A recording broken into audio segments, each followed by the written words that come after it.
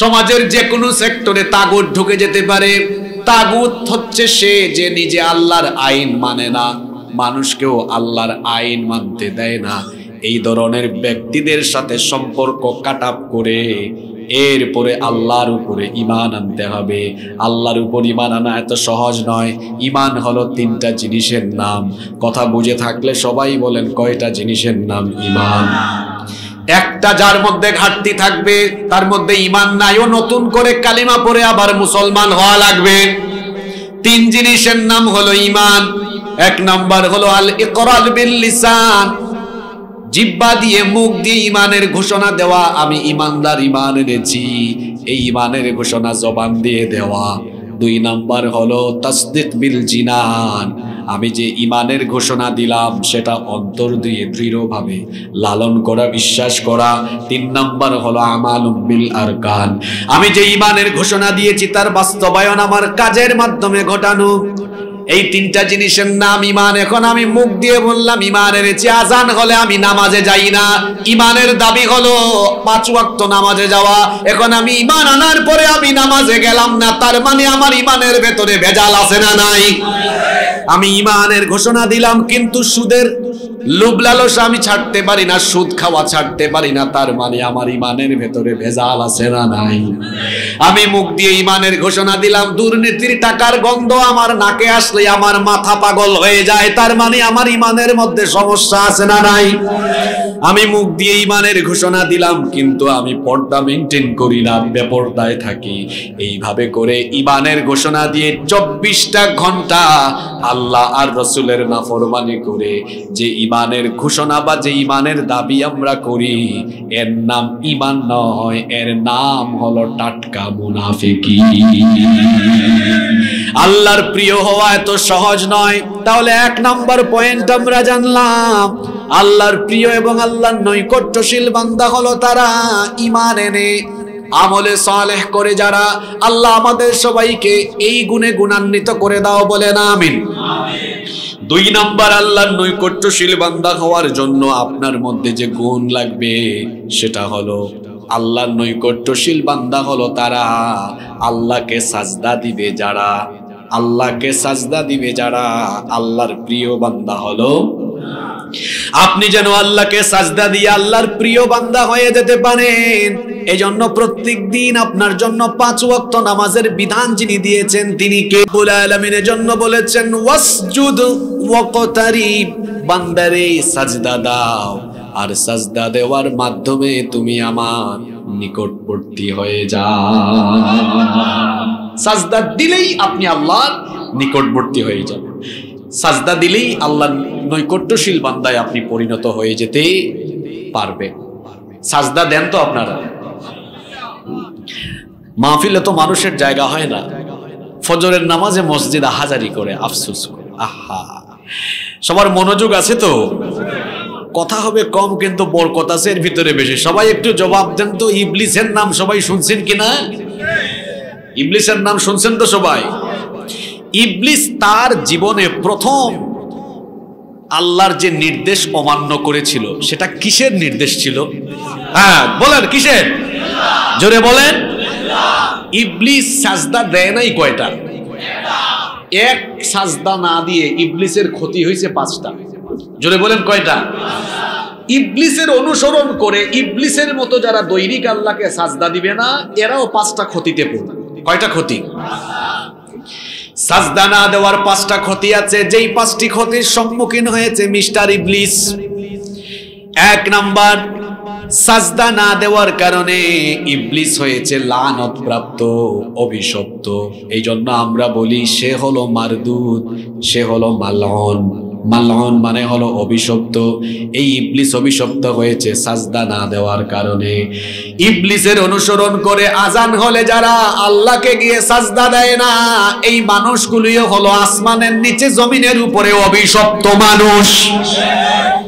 অভিশপ্ত মানুষের কাতারে, ভাই, আপনি নিজেকে সামিল করে দিয়েন না। আমি সাজদা না দেওয়ার পাঁচটা পরিণামের কথা বলছি। এক নাম্বার ভয়ঙ্কর পরিণাম হলো, যারা সাজদা দিবে না, এরা হলো অভিশপ্ত। কারণ ইবলিস আল্লাহকে সাজদা না দিয়ে হয়েছে অভিশপ্ত। দুই নাম্বার, সাজদা না দেওয়ার কারণে ইবলিস হয়েছে আল্লাহর নির্দেশ অমান্যকারী, সে হয়েছে আবা।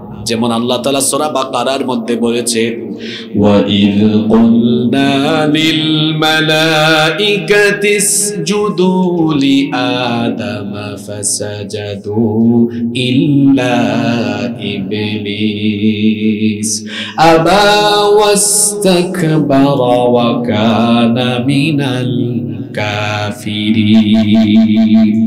আর স্মরণ করো যখন ফেরেশতাদেরকে বলা হয়েছিল, তোমরা আদমকে সাজদা দাও। সকল ফেরেশতারাই আদমকে সাজদা দিয়েছিল। ইবলিস শুধুমাত্র সাজদা দেয় নাই। না দেওয়ার কারণে সে হয়েছে আবা মানে আল্লাহর আদেশ অমান্যকারী, অস্বীকারী হয়েছে। তাহলে সাজদা না দেওয়ার দুই নম্বর পরিণতি হলো, সে আল্লাহর নির্দেশ অমান্যকারী হিসাবে তার একটা পদবি লেগে গেল।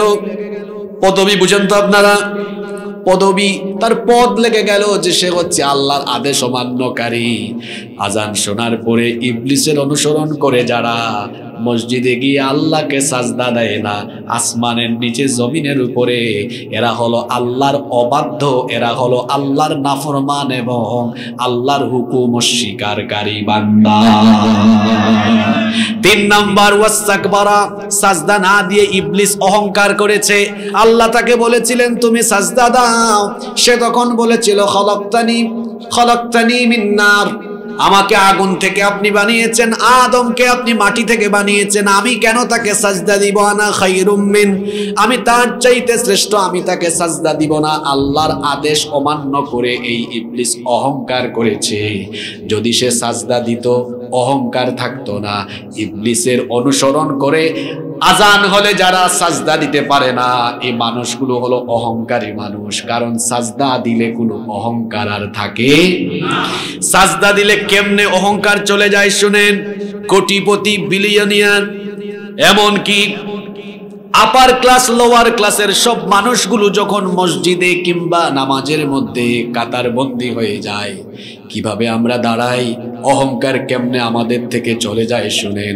দাঁড়ানোর সময় তো আমরা আসামির মতো যারাই, যখন দাঁড়াই, নামাজটা আরম্ভ করে দুই হাত যখন আমরা কাঁধ বরাবর কিংবা কান পর্যন্ত উঠাই, এই দৃশ্য দেখলে মনে হয় যেন আসামির মতো সারেন্ডার করে গুলাম তার মালিকের সামনে দাঁড়িয়ে যায়, আল্লাহ আকবার। এরপরে আমরা বুকটা বুকটা টান দিয়ে দাঁড়াই না, কারণ আল্লাহ বলেছেন বিনয়ী হয়ে নামাজে দাঁড়াও। যখন আমরা নামাজে দাঁড়াই মাথাটা নত করে দিয়ে চক্ষুটাকে সাজদার স্থানের দিকে দিয়ে দেই। এরপরে কিছুক্ষণ পরিমাম সাহেব যখন আল্লাহ আকবার বলে রুকুতে চলে যান, আমাদের অহংকার কীভাবে মাটির সাথে মিশে যাচ্ছে দেখেন, মাথাটা তখন ঝুঁকায়া দেই। আল্লাহ তখন বলেন, রাগ, তোর অহংকার আমি একবারে দূর করে দিব। কিছুক্ষণ পর যখন আমরা রুকু থেকে মাথাটা উঠায়া সাজদায় যখন চলে যাই, তখন দেখা যায় আমাদের কপাল আর আমাদের নাক হাঁটার সময় যা উপরের দিকে থাকে সাজদা যখন নামাজে দেই, তখন নাক আর কপাল মাটিতে লাগিয়ে আল্লাহর কুদরতি চরণে এমন ভাবে আমরা লুটিয়ে পড়ি। মনে হয় সব অহংকার আমাদের তখন মাটির সাথে মিশে যায়। কোনো অহংকার থাকে? জোরে বলেন, অহংকার থাকে? ইবলিস আল্লাহকে সাজদা না দেওয়ার কারণে তার তিন নাম্বার পরিণতি, তার তিন নাম্বার লস হয়েছে, তার নাম হয়েছে অহংকারী। ইবলিসের অনুসরণ করে যারা আল্লাহকে সাজদা দেয় না রেগুলার বেনামাজি হয়ে আছে, এরা অহংকারী। চার নাম্বার, ওয়াকানা মিনাল কাফিরিন। ইবলিস সাজদা না দিয়ে আল্লাহর সাথে কুফরি করেছে, কয়টা সাজদা দেয় নাই? তা আপনিও তো ডেইলি কত সাজদা দিচ্ছেন না, নবীজি বলেছেন, মান তারাকা সালাতা মুতাআম্মিদান ফাকাদ কাফারা। যে ব্যক্তি ইচ্ছে করে নামাজ ছেড়ে দিল, সে আল্লাহর সাথে কুফরি করল। তাহলে সাজদা না দিলে চার নাম্বার লস হলো ওই ব্যক্তি আল্লাহর সাথে কুফরি করে। পাঁচ নাম্বার, সাজদা না দেওয়ার কারণে ইবলিস কি জান্নাতে থেকেছে না জান্নাত থেকে বের হতে হয়েছে? এ, কথা বলছেন না কেন আপনারা? একটা সাজদা, কয়টা সাজদা? একটা সাজদা দেয় নাই, আল্লাহ বলেছেন get out from the paradise তুই বের হ জান্নাত থেকে গেট আউট এক সাজদার কারণে জান্নাত থেকে আউট বাপ রে বাপ, আপনার তো পাঁচ ওয়াক্ত নামাজের খবরও নাই, আপনি তো জুমান নামাজি হয়ে বসে আছেন। আর জান্নাতের আশা করে বসে আছেন। এক সাজদা না দিয়ে ইবলিস যদি জান্নাত থেকে বিতাড়িত হতে হয়। কতটা সাজদা আপনি দেন না। জান্নাতের আশা কীভাবে করেন আপনি? আরে নামাজ ছাড়া তো জান্নাতের গন্ধ পাওয়া যাবে না। এটা আমার কথা নয়। আল্লাহ নবী বলেছেন, যার মধ্যে নামাজ নাই, তার মধ্যে ইমানি তার ইমানই থাকে না। তাহলে একটা সাজদা না দেওয়ার ক্ষতি বললাম কয়টা? জোরে বলেন। যুবক ভাইয়েরা, কথা বলো, যে যুবকদের আয়োজনে মাহফিল হয়েছে এই যুবক বয়সে তোমরা নামাজে যাও না, কারণ তোমাদের শরীরে এখন পাওয়ার বেশি, শক্তি বেশি। তোমরা এখন তামাশা করো, ঝাঁকানাকা ঝাঁকানাকা চুল দেখে রাস্তাঘাটে মাথা নাড়ায়া নাড়ায়া হাঁটো। খুব শক্তি সামর্থ্য আছে, যা মন চায় তাই করো। মনে করো এটা রং তামাশার বয়স, কিন্তু না আমার ভাইয়েরা, এটা রং তামাশার বয়স নয়। এটা হলো ইবাদতের বয়স, এটা হলো চরিত্র গঠনের বয়স, এটা হলো কেরিয়ার সুন্দর করার বয়স। এই সময়ে যদি আপনি পড়ালেখায় মনোযোগী হন, কেরিয়ার ভালো হবে। এই সময়ে যদি আপনি চরিত্রের দিকে মনোনিবেশ করে ভালো চরিত্রবান হওয়ার জন্য নামাজি হয়ে যান, আপনি আদর্শবান মানুষ হয়ে যেতে পারবেন। আল্লাহ নবী বলেছেন, সাত শ্রেণির মানুষকে কেয়ামতের ময়দানে আল্লাহ তালা আরসের ছায়ার নিচে জায়গা দিবেন। এর মধ্যে এক শ্রেণির মানুষ হলো তারা ও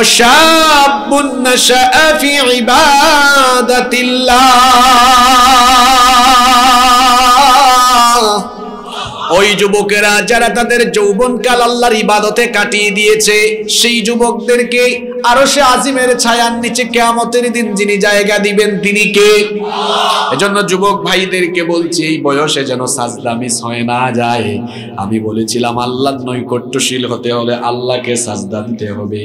আল্লাহকে সাজদা দিতে হবে। সাজদা তখন আপনি দেন, আল্লাহর কত কাছাকাছি চলে যান, শোনেন আল্লাহর নবী বলেছেন, আকরাবু মা ইয়াকুনু বিহিল আবদু মির রাব্বিহি ওয়া হুয়া সাজিদুন, বান্দা যখন সাজদারত অবস্থায় থাকে, বান্দা যখন আল্লাহকে সাজদা দেয়, তখন বান্দা আল্লাহর এত কাছে চলে যায়, তখন আল্লাহ আর বান্দার মাঝখানে কোনো পর্দা থাকে না।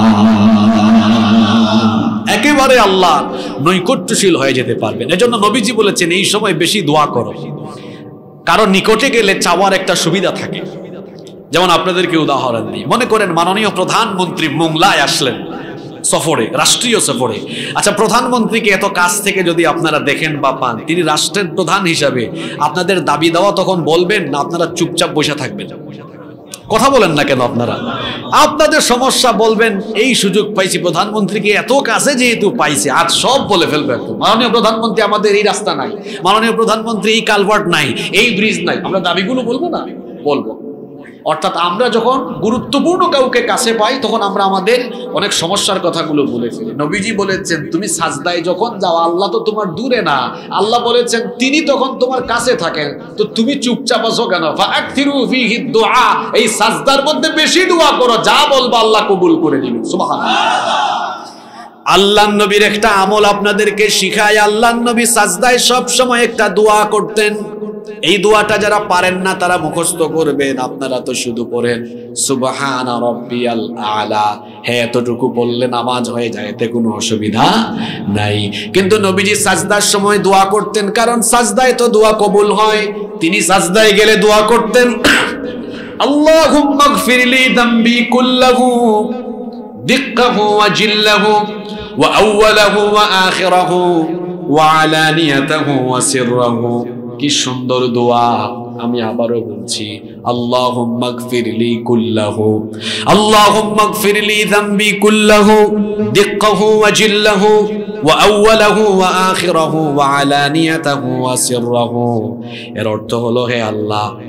তুমি আমার ছোট গুণা, বড় গুণা, প্রকাশ্য গুণা এবং গোপন গুণা। প্রথম শেষ যত গুণা করেছি, সব তুমি মাফ করে দাও। এই দোয়াটা আমরা মুখস্থ করব। আল্লাহ তৌফিক দান করেন, বলেন আমি আল্লাহ নৈকট্যশীল হতে হলে আল্লাহকে কি দিতে হবে? সাজদা। সাজদা দেওয়ার জায়গা কোথায়? জোরে বলতে হবে, সাজদা দেওয়ার জায়গা কোথায়? নামাজ। ফজরের নামাজে পাওয়া যাবে তো আপনাদেরকে? পাওয়া যাবে তো সবাইকে? ফজরের নামাজ কাজা করে ঘুমান কেমনে আপনারা? কেমন করে ঘুমাও তুমি? কেমন করে ঘুমাও তুমি? ফজর করে কাজা এমন তো হতে পারে, জোহরে জানাজা। হতে পারে কি পারে না? গত সাত আট দিনে হিট স্ট্রোক করে বহু মানুষ দুনিয়া থেকে চলে গিয়েছে। এই যে এশান নামাজ গেল, কয়জন পড়েন নাই আমি জানি না। এখন যদি বাড়ি যাওয়ার আগে হিট স্ট্রোক করে মারা যান, কিয়ামতের দিন হিসাব আরম্ভ হবে কি দিয়ে? জোরে বলেন। তা আপনি প্রথম প্রশ্নের উত্তর দিতে পারবেন? তা আপনি তো প্রথমে আটকে আটকে গেছেন। তা আপনি তো শেষ, ওখানেই শেষ। নবীজি বলেছেন, প্রথম প্রশ্ন নামাজ দিয়ে হবে। ইন্না আউওয়ালা মা ইউহাসাবু বিহিল আবদু। ইয়াউমাল কিয়ামাতি মিন আমালিহি সালাতি। সর্বপ্রথম কিয়ামতের দিন নামাজের হিসাব হবে। যে ব্যক্তি এই নামাজের হিসাব ঠিক মতো দিবে ফা ইন সালুহাত ফাকাদ আফলাহা ওয়া আনজাহ ওয়া ইন ফাসাদাত ফাকাদ খাবা ওয়া খাসার। এই নামাজে যার ডিস্টার্ব আছে, নামাজের হিসাবে যার পেজগুজ আছে, ও ক্ষতিগ্রস্ত ও আর সহজ হিসাব এর সম্মুখীন হবে না, কঠিন হিসাবের সম্মুখীন হবে জাহান নাম তার ঠিকানা হবে। জাহান নাম থেকে আমরা বাঁচতে চাই তো? পাঁচ ওয়াক্তের নামাজ ছাড়বেন? আমরা আর নামাজ ছাড়বো না, এই ওয়াদাকে আল্লাহর সাথে করা যায়? দেখে হাত তুলে একটু আল্লাহকে দেখান তো। মাশাআল্লাহ, আল্লাহ সবাইকে কবুল করেন। হাতগুলো নামান। কয়টা বলেছি? আল্লাহর নৈকট্যশী হওয়ার জন্য কয়টা গুণের কথা বলেছি? এক নাম্বার। হায় হায়, একটু আগে বললাম, এক নাম্বার। ইমান। জোরে বলেন, এক নাম্বার ইমান, দুই নাম্বার সাজদাবা নামাজ, দুই নাম্বার সাজদাবা তিন নাম্বার। আল্লাহ নৈকট্যশীল হতে চান। আপনি ফরজ ইবাদতগুলো আদায় করার পরে নফলের প্রতি যত্নবান হবেন নফলের প্রতি যত্নবান হবেন। তখন আপনি আল্লাহর প্রিয় হয়ে যেতে পারবেন। আর নফল ইবাদতের মধ্যে সবচেয়ে পছন্দের ইবাদত হলো আল্লাহর কাছে তাহাজ্জুদের নামাজ। ফরজের পরে আপনি নফলের প্রতি যত্নবান হলে আল্লাহর প্রিয় হয়ে যেতে পারবেন। আল্লাহর নবী বলেছেন,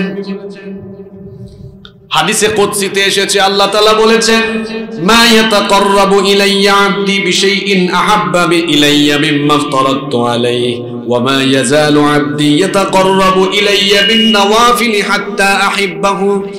আমার নিকটবর্তী হওয়ার জন্য বান্দা ফরজের পরে যখন নফলের প্রতি যত্নবান হয় তখন আমার বান্দা এত প্রিয় হয়ে যায়। আমার বান্দাকে তখন আমি ভালোবাসা আরম্ভ করি কে ভালোবাসেন? জোরে বলেন। বুঝে শুনে উত্তর দেন, আপনি ভালোবাসছেন না আল্লাহ ভালোবাসা দিচ্ছেন? তো আল্লাহ যখন ভালোবাসবেন, তখন আল্লাহ কি করবেন? আল্লাহ বলেছেন, ফাইদা আহবাবতুহু কুনতু সামাহুল্লাযী ইয়াসমাউ বিহ। আমি যখন কোনো বান্দাকে ভালোবাসি আমি তার কান হয়ে যাই, আমি তার চোখ হয়ে যাই, আমি তার অঙ্গ প্রত্যঙ্গ হয়ে যাই, সুবহানাল্লাহ। এখন আপনি বলবেন, হুজুর, এই কথাগুলোর অর্থ তো বুঝলাম না। আল, আমার কান, আল্লাহর কান। আমার চোখ আল্লাহর চোখ মানে তো বুঝলাম না। আল্লাহর কি আমাদের মতো কান আর চোখ আছে নাকি? নাউজুবিল্লাহ। আল্লাহ কেমন আমরা জানি না। লাইসা কামিথলিহি শাইউন। কোনো কিছুই তার মতো নয়। তিনি হলেন তার মতো। তিনি কেমন আমরা জানি না। আমরা জানি না তিনি কত যে সুন্দর। কারণ মানুষ সুন্দর, আসমান, জমিন সবই সুন্দর। তাহলে সুন্দরের কারিগর যিনি, তিনি কম সুন্দর না বেশি সুন্দর? কত বেশি আমরা জানি? দুনিয়া সুন্দর মানুষ সুন্দর আসমান সুন্দর জমিন সুন্দর সুন্দরে সুন্দরে পাল্লা। জানি না কত সুন্দর তুমি আল্লাহ। জানি না কত সুন্দর তুমি আল্লাহ। কত সুন্দর আমরা কেউ জানি? আল্লাহ যখন আপনাকে ভালোবাসবেন আপনার কান আল্লাহর কান, আপনার চোখ আল্লাহর চোখ। এটার অর্থ কি? উদাহরণ দিলে আপনি বুঝবেন। এটার অর্থ হলো এই, আমি একটা উদাহরণ দেই তাহলে আপনারা বুঝবেন। বলেন তো, সন্তানকে মা বাবা ভালোবাসে কম না বেশি? এখন মনে করেন, এখানে একটা পুকুর আছে, ছোট্ট একটা বাচ্চা, শিশু, দুই বছর, আড়াই বছর বয়স। হাঁটতে জানে, সাঁতার তো জানে না। এখন ওই সন্তান হেঁটে হেঁটে হেঁটে হেঁটে পুকুরের দিকে চলে যাচ্ছে। পুকুরে পড়লেই মারা যেতে পারে, কারণ সে সাঁতার জানে না। মা বাবা এটা দেখলে কি সন্তানকে পুকুরে পড়তে দিবে, নাকি সেখান থেকে ফিরায় আনবে? কারণ সন্তানকে মা বাবা ভালো। আল্লাহর কান, আল্লাহর চোখ হয়ে যাওয়া এটার অর্থ হলো, আল্লাহ যখন আমাকে ভালোবাসবেন আল্লাহ বলেছেন, আমার কান আল্লাহর কান হয়ে যাবে। অর্থাৎ আমার কান যখন বাজে জিনিস শুনতে চাইবে, যেভাবে সন্তানকে মা বা বাবা ওই পুকুরের পাড় থেকে ফিরায় আর নিজেরাই নিয়ে আসে ভালোবাসার কারণে। কারণ অবুজ সন্তান বুঝে না এই দিকে গেলে সেখানে পানিতে পড়ে মারা যেতে পারে। আল্লাহ যখন কোনো ব্যক্তিকে ভালোবাসেন, ফরজের পাশাপাশি নফল ইবাদত করে, কোনো বান্দা যখন আল্লাহর প্রিয় হয়ে যায়, ওই ব্যক্তির কান যখন বাজে কিছু শুনতে চায়, আল্লাহ তখন দয়া করে ওই বান্দাকে ওই জায়গা থেকে ভালোবেসে সেফ করে নিয়ে আসেন। সুবাহান আল্লাহ যখন তার চক্ষু বাজে কিছু দেখতে চায়, তখন আল্লাহ দয়া করে তার চক্ষুকে ফিরায় আনেন। কারণ তার চোখ কানের হেফাজতকারী তখন যিনি হয়ে যান, জোরে বলেন তিনি কি? এটা বড় বিরাট গুরুত্বপূর্ণ গুণ। এজন্য আপনি যখন নফলের প্রতি যত্নবান হয়ে যাবেন, তখন কিন্তু আল্লাহ তালা আপনাকে এভাবে তার প্রিয় বান্দায় পরিণত করে নিবেন। এই জন্য ফরজ তো আদায় করেন, চেষ্টা করবেন রাতের বেলা মাঝে মাঝে তাহাজ্জুদ আদায় করার। আমরা তো রাতের বেলা ঘুমাতে ঘুমাতে কিংবা তামাশা করতে করতে রাত কাটাই, আর আমাদের প্রিয় নবী রাত কাটাতেন। রাতের বেলা দাঁড়াতে দাঁড়াতে তাহাজ্জুদ পড়তে পড়তে তার পা ফুলে যেত সুবাহান আল্লাহ আল্লাহর প্রিয় বান্দাদের পরিচয় হলো আল্লাহ সূরা ফুরকানে বলেছেন ওয়াইবাদুর রাহমানিল্লাযীনা ইয়ামশুনা আলাল আরদি হাওনা, ওয়া ইযা খাতাবাহুমুল জাহিলুনা ক্বালু সালামা, ওয়াল্লাযীনা ইয়াবিতুনা লিরাব্বিহিম সুজ্জাদান ওয়া কিয়ামা। আল্লাহ বলেছেন, রহমানের বান্দা হলো তারা। রাতের বেলা আল্লাহকে রুকু আর সাজদা দিয়ে রাত কাটায় যারা। এদের গুণ হলো, কোয়ালিটি হলো, কানু কলিলাম মিনাল লাইলি মা ইয়াহজাউন, ওয়া বিল আসহারি হুম ইস্তাগফিরুন রাতের বেলা খুব কম সময় তারা ঘুমায়। তাতাজাফা জুনুবুহুম আনিল মাদাজি' বিছানা থেকে রাতের বেলা তাদের পিঠ আলাদা হয়ে যায়। ইয়াদউনা রাব্বাহুম খাউফাও ওয়া তামা। রাতের বেলা তারা ভয় আর আশা নিয়ে তাদের রবকে ডাকতে থাকে। জাহান নামের আজাবের ভয়ে কলিজাটা কেঁপে উঠে গভীর রাতে তারা আল্লাহর সাথে প্রেম, ভালোবাসা বিনিময় করতে থাকে। এই গুণে আমরা গুণান্বিত হওয়ার চেষ্টা যদি করি, রাতের বেলা যদি আল্লাহকে সাজদা দিতে পারি, তাহলে আমাদেরকে আমাদেরকে আল্লাহর নৈকট্যশীল বান্দায় যিনি পরিণত করে দিবেন, তিনি কি? পারবেন তো ইনশাল্লাহ চার নাম্বার আল্লাহর প্রিয় হতে হলে জিকিরকারী বান্দা হতে হবে, আল্লাহ বলেছেন, ফালকুরুনি আলকুরুকুম ওয়াশকুরুলি ওয়ালা তাকফুরুন। তুমি আমাকে স্মরণ করো, আমিও তোমাকে স্মরণ করব। শোনেন, আপনি আল্লাহকে স্মরণ করলে আল্লাহ আপনাকে স্মরণ করার কানুনটা কেমন হয়? আল্লাহ নবী বলেছেন হাদিসে কুৎসিতে এটা এসেছে আল্লাহ তাআলা বলেছেন ইন ফি নাফসিহি ফি নাফসি, বান্দা যখন আমাকে স্মরণ করে, আমিও তাকে স্মরণ করি। ওয়া ইন ফি মালাইন ফি মালাইন, হুম খায়রুম মিনহুম, বান্দা যখন আমাকে কোন ভরা মজলিসে, সুন্দর কোন সমাবেশে স্মরণ করে, আমি তার চাইতে উত্তম কোন সমাবেশে আমার বান্দাকে স্মরণ করি। এই যে আমরা এখানে বসে কার গুণগান গাইছি? কার কথা বলছি? আল্লাহ এখন ফেরেস্তাদেরকে ডেকে এরকম সমাবেশ করে আল্লাহ আমাদের প্রশংসা করছেন সুবাহান আল্লাহ আমরা আল্লাহকে স্মরণ করলে আল্লাহ আমাদেরকে স্মরণ করেন। তবে আমাদের চাইতে আল্লাহ আমাদেরকে স্মরণ করার সময় আরও উত্তম ভাবে করেন। হাদিসে এসেছে, বান্দা যেভাবে করে, আল্লাহ তার চেয়ে উত্তম ভাবে করেন। আল্লাহ এখন ফেরেস্তাদেরকে ডেকে বলতেছেন, মংলার দিকে তাকায় দেখ, উলুবুনিয়ার মাঠের দিকে তাকিয়ে দেখ।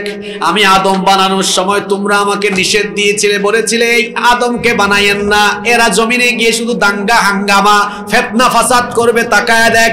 উলুবুনিয়ায় মাঠে আমার বান্দারা তীব্র এই গরমে একত্রিত হয়ে আমার কিতাবের আলোচনা করে আর শুনে সুবাহ আল্লাহ আল্লাহ এখন আমাদের প্রশংসা করছেন। এরপরে আল্লাহ তাআলা আরও বলছেন, ওয়া ইন তাকাররাবা মিন্নি শিবরান তাকাররাবতু ইলাইহি দিরান। আল্লাহ তাআলা বলেছেন, বান্দা যখন আমার দিকে এক হাত এগিয়ে আসে, আমি তখন আমার বান্দার দিকে এক বিঘত এগিয়ে আসি। এরপরে আল্লাহ বলেছেন, ওয়া ইন তাকাররাবা ইলাইয়া দিরান তাকাররাবতু মিনহু বান। বান্দা যখন আমার দিকে হেঁটে হেঁটে আসে, আমি তখন তার দিকে আরও দ্রুত গতিতে এগিয়ে আসতে থাকি। বান্দা যখন আমার দিকে, সে যখন, বান্দা যখন আমার দিকে, বান্দা যখন আমার দিকে দ্রুততার সাথে আসে, আমি আমার বান্দার দিকে তখন তার চাইতে আরও দ্রুততার দিকে, অর্থাৎ আমার রহমত তার দিকে আরও দ্রুত বেগে আসতে থাকে সুবাহান আল্লাহ আল্লাহর জিকিরকারী বান্দা যদি আপনি হতে পারেন তাহলে আপনি আল্লাহর প্রিয় হয়ে যেতে পারবেন। এখন জিকির মানে কি এটা আপনাকে বুঝতে হবে। আমাদের দেশে মানুষ মনে করে জিকির মানে হচ্ছে হুত আর। অথবা সম্মিলিত হয়ে ইল্লা থাকা। মনে করে মানুষ এটাই জিকির। হ্যাঁ আপনি সুবহান আল্লাহ আলহামদুলিল্লাহ, লা ইলাহা ইল্লাল্লাহ, আল্লাহু আকবার, এগুলো সবই জিকিরের অন্তর্ভুক্ত। কিন্তু জিকিরের অর্থ হলো অন্তরের মধ্যে বা নিজের মধ্যে আল্লাহ তাআলার স্মরণ জাগ্রত রাখা। আর এটি এমন এক গুণ, এটা যার মধ্যে আছে ওই ব্যক্তি আর গুণা করে জিকিরের একটা উদাহরণ দেই শুনেন, জিকির কি? এই যে আমার হাতে এটা একটা জিনিস দেখছেন, সবার কাছে এটা আছে, এটার নাম কি? জিকির মানে কি বুঝেন? মনে করেন ফেসবুকে আপনি গেলেন, ফেসবুকে ঢুকার পরে আপনি একটা ভিডিও পেলেন, দেখবেন ভিডিও ভালো একটা দেখলেন, নিচে দিয়ে আরও দুই তিনটা খারাপ থাকার সম্ভাবনা আছে না নাই? বা ইউটিউবে গেলেন, খারাপ কোনো ভিডিও আপনার চোখের সামনে পড়ে গেল, সঙ্গে সঙ্গে আপনার অন্তরে চলে আসলো, আমার রব তো দেখছেন, আমি এখন কি দেখতেছি তিনি জানেন। আপনার অন্তরে আল্লাহর স্মরণ চলে আসার পরে যদি আপনি সাথে সাথে এই খারাপ ভিডিওটাকে অ্যাভয়েড করতে পারেন, আপনার পরিচয় হলো আপনি আল্লাহর জিকিরকারী বান্দা। কারণ আপনি আল্লাহর জিকিরের কারণে এই গুণা থেকে আপনার চক্ষুকে হেফাজত করেছেন সুবাহান আল্লাহ এজন্য এটা বিরাট বড় গুণ।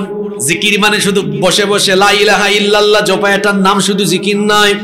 জিকির মানে হচ্ছে সদা সর্বদা চব্বিশ ঘণ্টা আল্লাহর স্মরণ নিজের মধ্যে জাগ্রত রেখে, আল্লাহর নাফরমানি থেকে নিজেকে সেফ রাখা। এই গুণায় গুণান্বিত হয়ে যাবে যারা আল্লাহর প্রিয় বান্দা হয়ে যাবে তারা। আল্লাহ এই গুণে আমাকে, আমাদের সবাইকে গুণান্বিত করে দাও। বলেন আমি পাঁচ নাম্বার আল্লাহর নৈকট্যশীল বান্দা হলো তারা। সব সময় আল্লাহর কাছে চায় যারা, দোয়া করে যারা। আপনি যখন আল্লাহ তাআলাকে ডাক দিবেন, তখন আপনি আল্লাহকে আপনার নিকটে পাবেন। এজন্য আল্লাহ তাআলা বলছেন, ওয়া ইদা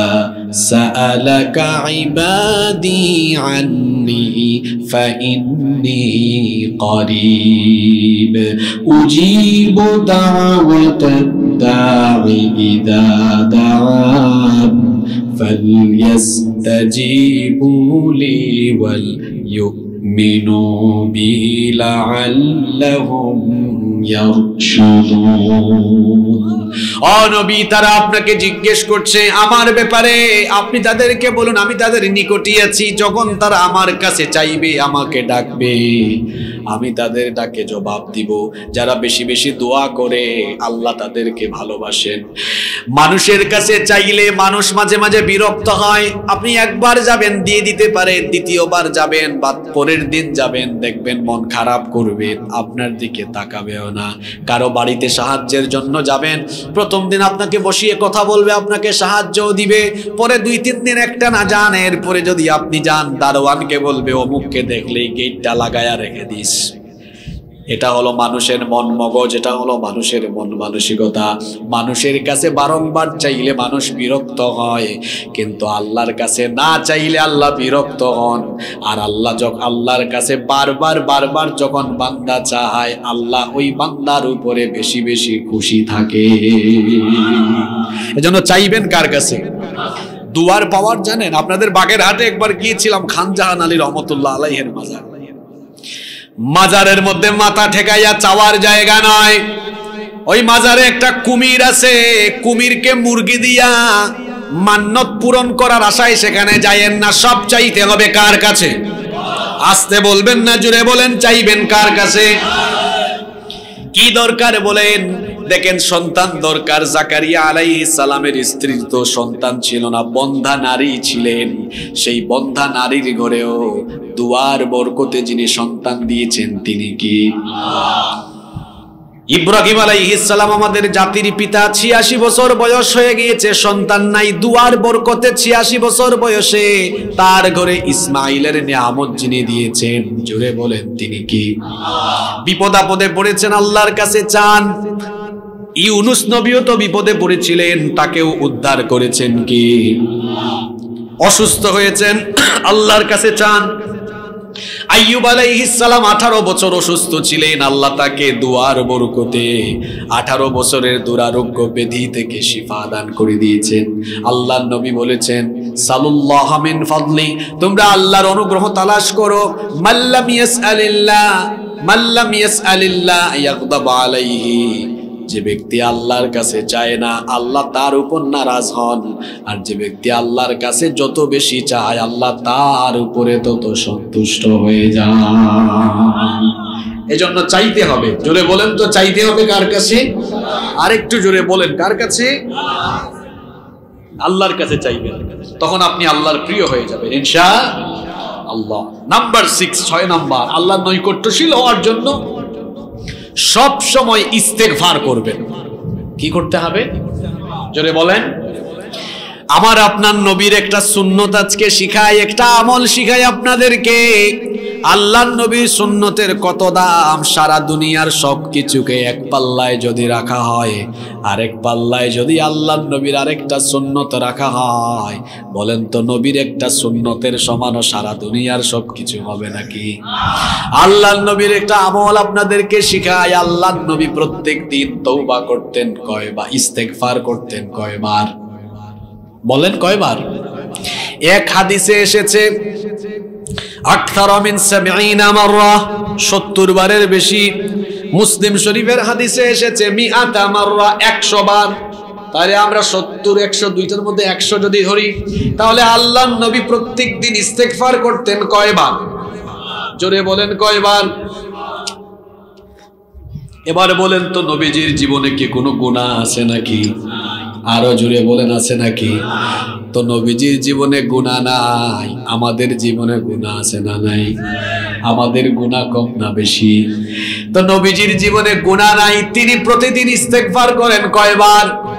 আর আমাদের জীবনে গুণা বেশি আমরা করি কয়বার? খাইছেন ধরা? নবীজির কোনো গুণা নাই, ইস্তেগফার কয়বার? আর আমাদের গুণা আছে, করি কয়বার? আহা! তাহলে বুঝা গেল, এই আমলের ঘাটতি আমার মধ্যে, আমাদের মধ্যে আছে। তাহলে এই আমলটা আজকে থেকে শুরু করার দরকার আছে না নাই? প্রত্যেক দিন আপনারা ইস্তেকবার করবেন কয়বার? এখন বলবেন, হুজুর একশো বার আমরা করব কীভাবে? মনেও তো থাকে না। আপনি সকালবেলা কয়েকবার করে ফেলেন, দুপুরে কয়েকবার, বিকালে কয়েকবার, সন্ধ্যায় কয়েকবার, রাতে কয়েকবার, হোক না একশো বারের বেশি। ইস্তেকবারের কিন্তু ফজিলত আছে। কারণ আল্লাহ তাআলা কোরআনে কারিমে বলেছেন, ওয়ামা কানাল্লাহু মুআদ্দিবাহুম ওয়া হুম ইস্তাগফিরুন সূরা আনফালের 33 নম্বর আয়াতে আল্লাহ বলেছেন, ইস্তেগফাররত বান্দাদের উপরে আল্লাহ কখনো কোনো আযাব দেন না। কাদের উপরে আযাব দেন না? জোরে বলেন, কাদের উপরে? ইস্তেগফাররতের উপরে। আমার একটা কিচ্ছা মনে পড়ল, ঘটনা মনে পড়ল, সেটা কি বলব? বলব? এক বুজুর্গ ব্যক্তি গাড়িতে উঠেছেন। প্যাসেঞ্জার সিটে বসে আছেন। কিছুক্ষণ পর পর তিনি বলেন ফেরুল্লাহ তা আরেকজন যাত্রী পাশে বসা, দীর্ঘ সময় ধরে এটা খেয়াল করছে। হঠাৎ করে সে বলছে আচ্ছা আপনি যে কিছুক্ষণ পরে পরে আস্তাক ফেরুল্লাহ পড়েন কেন? গাড়িতে ওঠার সময় তো আমরা সবাই দোয়া করে ফেলেছি। আপ- আপনিও হয়তো করছেন। গাড়িতে ওঠার দোয়া আছে না? যে কোনো বাহনে উঠলে বিসমিল্লাহি মাজরিহা ওয়া মুরসাহা, ইন্না রাব্বি লাগাফুরুর রাহিম, সুবহানাল্লাযী সাখখারা লানা হাযা ওয়া মা কুন্না লাহু মুকরিনিন ওয়া ইন্না ইলা রাব্বিনা লামুনকালিবুন তো দোয়া তো পড়েই ফেলছেন, এখন খালি ইস্তিগফার করেন কেন? ওই বুজুর্গ বুজুর্গ ব্যক্তি তখন তার প্রশ্নের উত্তর না দিয়ে এই আয়াত বললেন। বললেন তখন ওই ব্যক্তি বললেন, কোরআনের আয়াত দিয়ে উত্তর দিয়েছেন কেন? তখন বুজুর্গ ব্যক্তি বললেন, দেখো, আল্লাহ তো বলেছেন ইস্তেগফাররতকে আল্লাহ কোনো আজাব গজব বা বিপদে ফেলবেন না, আল্লাহ তার হেফাজত করবেন। আমি যে গাড়িতে আছি, এখানে তো রিস্কের মধ্যে আছে, শুধু গাড়ি না, তিনি বললেন, গোটা দুনিয়াটাই তো রিস্ক, গাড়িতে হোক, বাড়িতে হোক, এই যে আমরা এখন বাড়িতে যাব, এটা কি রিস্ক মুক্ত? এখানে অত ভূমিকম্প হয়ে রাতের বেলা, আমরা সবাই মারা যেতে পারি কি পারি না? গাড়িতে রিস্ক, বাড়িতে রিস্ক, আসলে দুনিয়াতে সেফ জোন বলতে কিছুই নাই। দুনিয়ার কোনো জায়গা আমাদের জন্য সেফ না। যে কোনো জায়গায় বিপদ আসতে পারে। ওই বুজুর্গ ব্যক্তি বললেন, গাড়িতে আসি এখানে যে কোনো মুহূর্তে অ্যাক্সিডেন্ট করেও আমি সমস্যায় পড়ে যেতে পারি। যেহেতু আল্লাহ বলেছেন ইস্তেকফাররত ব্যক্তিকে আল্লাহ কোনো আজাব গজব বা বালা মুসিবতে ফেলবেন না। আমি শুধু গাড়িতে নই বাবা, আমার এই অভ্যাস হলো, আমি যেখানেই থাকি, যতক্ষণ জাগ্রত থাকি, ততক্ষণ আমি কিছুক্ষণ পর পর, কিছুক্ষণ পর পর ইস্তেকফারের আমল করি। সুবহানাল্লাহ। এই আমলটা আসুন, আমরা নিজেদের মধ্যে করি। আমরাও যখনই সুযোগ পাবো আস্তাক ফেরুল্লাহ যখনই সুযোগ পাবো আস্তাক ফেরুল্লাহ পড়বেন তো ইনশাল্লাহ আর এটা করলে আরেকটা বেনিফিট হলো, আপনি আল্লাহর প্রিয় বান্দা, নৈকট্যশীল বান্দা হয়ে যেতে পারবেন। সোহান আল্লাহ এই যে এখন বৃষ্টি নাই, এটার জন্য ইস্তিগফার দরকার। নু আলাইহিস সালাম তার উম্মতকে কি বলেছিলেন? ফাকুল তুস্তাগফিরু রাব্বাকুম। তোমরা তোমাদের রবের কাছে ইস্তিগফার করো। ইউরসিলিস সামাআ আলাইকুম মিদরারা, সূরা নূহ পড়বেন। সেখানে তিনি বলেছেন, তোমরা যদি ইস্তিগফার করো, আল্লাহ আসমান থেকে তোমাদের জন্য মুষলধারে বৃষ্টি নাজিল করবেন। এই যে বৃষ্টি বন্ধ হয়ে গিয়েছে মানুষের উপরে যে কোনো গজব এমনি এমনি আসে না। আল্লাহ কোরআনে বলেছেন জহরাল ফাসাদু ফিল বাররি ওয়াল বাহরি বিমা কাসাবাত আইদিন নাস। এগুলো মানুষের দুই হাতের কামাই করা। হ্যাঁ? বৃষ্টি বন্ধ হয়েছে। বৃষ্টি বন্ধ কি এমনি এমনি হচ্ছে মনে করেছেন? ঢাকা বিশ্ববিদ্যালয়ে চোদ্দই এপ্রিল আপনার এই কি বলে, পহেলা বৈশাখ যে গেল মঙ্গল শোভাযাত্রার জন্য কোনো বাধা নাই পারমিশন সেখানে আছে। ঢাকা বিশ্ববিদ্যালয়ে যখন বৃষ্টি প্রার্থনার নামাজের জন্য ব্যবস্থা করার প্রস্তুতি চলছিল, তখন বিশ্ববিদ্যালয় প্রশাসন নামাজের অনুষ্ঠানকে বানচাল করে দিয়েছে। আপনারা জানেন কি জানেন না এটা? তো গজব এই দেশে আসবে না। তো কোন দেশে আসবে গজব? আল্লাহকে ভয় করুন। মুহূর্তের মধ্যেই বৃষ্টি নাজিল করে দিতে পারেন কি? মুহূর্তের মধ্যেই আবার যে কোনো জায়গাকে যে কোনো দেশকে অচল করে দিতে পারেন কি? দুবাইকে দেখছেন কি স্মার্ট একটা সিটি গোটা বিশ্বের যতগুলো স্মার্ট সিটি আছে, তার মধ্যে অন্যতম হচ্ছে এই দুবাই। এত বৃষ্টি হয়েছে, মরু অঞ্চলে সাধারণত গড়ে একশো মিলিমিটার বৃষ্টিপাতেরও সম্ভাবনা থাকে না। সেখানে দুবাইতে এক রাতেই প্রায় তিনশো মিলিমিটারের কাছাকাছি ভারী বর্ষণ হয়েছে। দুবাইয়ে বন্যা হয়ে গিয়েছে এই বর্ষণের কারণে। অনেকে অনেক কথাই বলছেন, কেউ বলছেন ক্লাউড সিডিং এর কারণে, কেউ বা নানাবিধ কারণ বলছেন। তবে আমি মনে করি, এই দুবাই বা মধ্যপ্রাচ্যের অথর্ব শাসকেরা তারা যে কাজগুলো অতীতে করছে, এগুলোর ফলাফল হিসাবে আল্লাহ হয়তো হালকা পাতলা এদেরকে নাড়া দিয়েছেন। যদি ঠিকঠাক না হয়, এরা সামনে এদের উপর আরও গজব আছে। কারণ এরা কি করেছে? এরা বিশ হাজার বর্গমিটার জায়গা ছেড়ে দিয়েছে, বরাদ্দ করেছে মন্দির বানানোর জন্য সেই দেশে। জানেন কি জানেন না আপনারা? কি জানেন না আপনারা? এগুলো করেছে। মধ্যপ্রাচ্যের দেশগুলোতে অন ইসলামিক অনেক কর্মকাণ্ড শুরু হয়েছে। এগুলোর ফলাফল তারা ভোগ করবে। এগুলো যখন আরম্ভ হয়েছে, তখন দেখ, তখন মনে হলো যে না, আল্লাহ রসুলের ভবিষ্যৎবাণীর সাথে, আল্লাহ রসুলের যে ভবিষ্যৎবাণী আছে, এগুলো ঘটার জন্যই তো হয়তো তারা এগুলো করছে। কিয়ামতের আগে পৃথিবীর তিন প্রান্তে তিনটি বড় বড় ভূমিধস হবে। কয়টা ভূমিধস? আল্লাহ রসুলের হাদিস। দশটি কিয়ামতের বড় বড় আলামত হলো দশটি। দশটি ঘটনা ঘটার আগ পর্যন্ত কিয়ামত হবে। এর মধ্যে তিনটা বড় ঘটনা হলো, পৃথিবীর তিন দিকে তিনটা ভূমিধস হবে। আল্লাহ নবী বলেছেন, সালাতাতু খুসুফুন। তিনটি বড় বড় ভূমিধস হবে। এর মধ্যে তিনটা, তিনটি ভূমিদোষ কোন কোন দিকে হবে? নবীজি বলেছেন হাসফন বিল মাশরিক। একটা পৃথিবীর পূর্ব দিকে হবে। ও হাসফন বিল মাগরিব।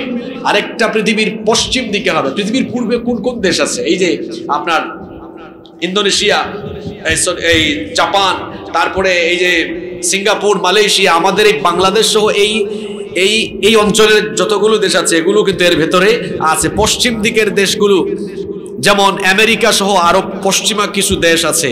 এরপরে তিন নাম্বার হলো হাসফুন বি জাজিরাতুল আরব।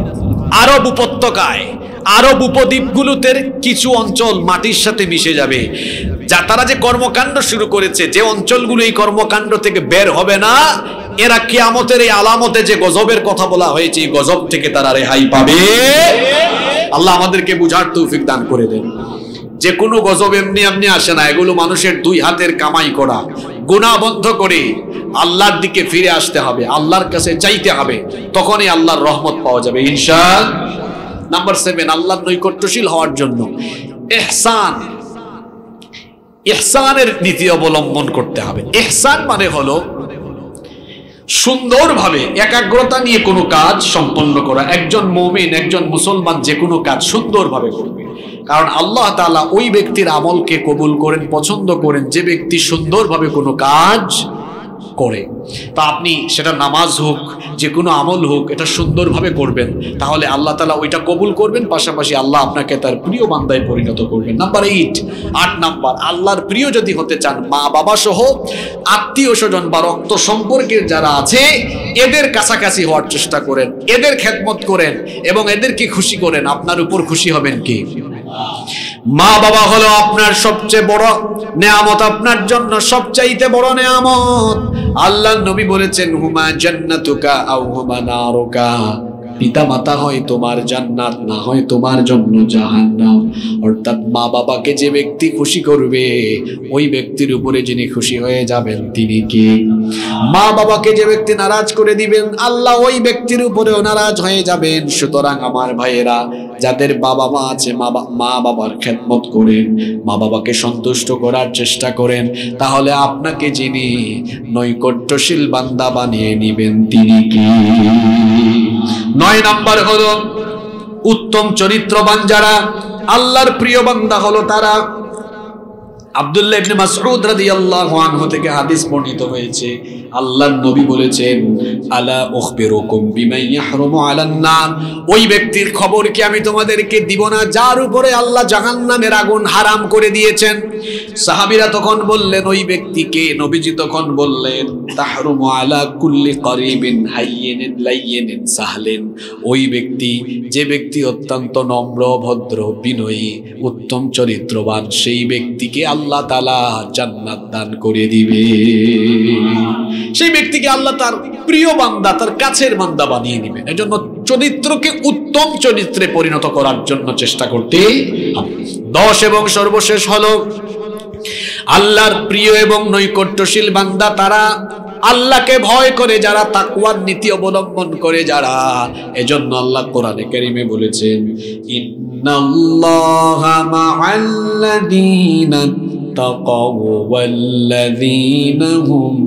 মুহসিনুন নিশ্চয়ই আল্লাহ তাদের সাথে আছেন যারা আল্লাহকে ভয় করে। অন্য আয়াতে আল্লাহ বলেছেন, ইন্নাল্লাহা ইউহিব্বুল মুত্তাকিন। নিশ্চয়ই আল্লাহ মুত্তাকিদেরকে ভালোবাসেন। অন্য আয়াতে আল্লাহ বলেছেন, সূরা হুজুরাতের মধ্যে, ইন্না আকরামাকুম ইনদাল্লাহি আতকাকুম। নিশ্চয়ই তোমাদের মধ্যে আল্লাহর কাছে সবচাইতে সম্মানিত হলো তারা। তোমাদের মধ্যে আল্লাহকে সবচাইতে বেশি ভয় করে যারা। আল্লাহকে ভয় করতে হবে। আল্লাহকে ভয় করে যারা আল্লাহর প্রিয় হলো তারা। আপনারা আল্লাহকে ভয় করেন তো? এটা শেষ প্রশ্ন, আটকে যাবেন কিন্তু, বুঝে শুনে উত্তর দিয়ে আপনারা সবাই আল্লাহকে ভয় করেন তো? তাহলে আল্লাহকে ভয় করলে আপনারা নাজান দিলে নামাজ যাইতে পারেন না কেন? আপনারা আল্লাহকে ভয় করেন। তাহলে গুণা ছাড়তে পারেন না কেন? যুবকদেরকে বলছি, আল্লাহকে ভয় করেন। তাহলে মেয়েদেরকে ডিস্টার্ব করা থেকে বিরত থাকতে পারেন না কেন? আল্লাহকে ভয় করেন, জিনা থেকে দূরে থাকতে পারেন না কেন? আল্লাহকে ভয় করেন, তাহলে আপনি অন্যায় এবং হারাম থেকে নিজেকে সেফ রাখতে পারেন না কেন? আল্লাহকে ভয় করি, এই কথাটা বলার যথার্থতা থাকবে তখন, যখন আমি আল্লাহর প্রত্যেকটি হুকুম মেনে নিজেকে পরিচালনা করতে পারব, তখন বলতে পারব হ্যাঁ আমি আল্লাহকে ভয় করে চলি, আমি আল্লাহর ভয়ে ভীত বান্দা। নইলে আমি মুখ দিয়ে শুধু বলব, কিন্তু বাস্তবের সাথে এর কোনো মিল থাকবে না। এই যে দশটি আমলের কথা বললাম, এই দশটি কাজ বা দশটি আমল করতে পারবে যারা আল্লাহর নৈকট্যশীল, আল্লাহর প্রিয় বান্দা হয়ে যেতে পারবে তারা। আসেন আমরা তিরিশ সেকেন্ডে একটু রিভাইজ করি। একটু সামারিটা আমরা আবারও বুঝে নেওয়ার চেষ্টা করি। এক নাম্বার, আল্লাহর নৈকট্যশীল কারা? ইমানদার। যারা? দুই নাম্বার, আল্লাহর নৈকট্যশীল হওয়ার জন্য আল্লাহকে কি দিতে হবে?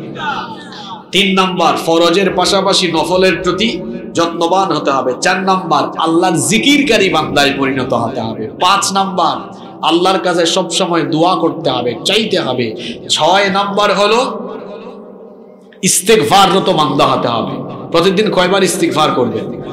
সাত নাম্বার হলো, ইহসানের নীতি অবলম্বন করতে হবে। আট নাম্বার হলো, পিতামাতার খেদমত করতে হবে। আপনার পীর সাহেব, আপনার পীর কে? আপনার জন্য সবচেয়ে বড় পীর কে?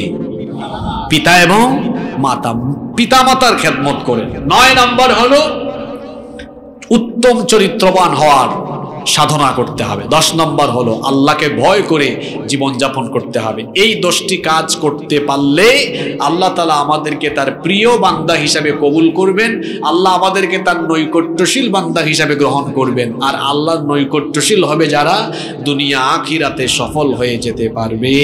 তারা আল্লাহ আমাদেরকে এই দশটি গুণে গুণান্বিত হওয়ার তৌফিক দান করেন, আমরা সকলে বলি আমিন।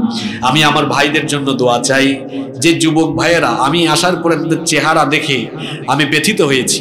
এত কষ্ট করে মাহফিল করেছে আমার ভাইদের চেহারা, আমি খুব ক্লান্ত, শ্রান্ত, পরিশ্রান্ত দেখেছি আমি তাদেরকে। এত কষ্ট করেছে আমার এই উলুমুনিয়া যুব সমাজের ভাইয়েরা। আমি খাস করে আপনাদের কাছে তাদের জন্য দোয়া চাচ্ছি।